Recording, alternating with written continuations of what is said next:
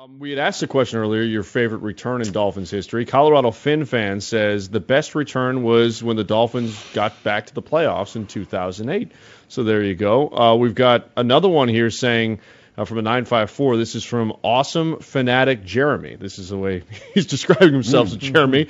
Uh, there you go. Uh, Larry Csonka's return to the Miami Dolphins in 1979 and earning NFL Comeback Player of the Year award. So that that was a, a good one right there. It was. As uh, Larry Csonka returned. Um, we had asked a question earlier, your favorite return in Dolphins history. Colorado Fin fan says the best return was when the Dolphins got back to the playoffs in 2008.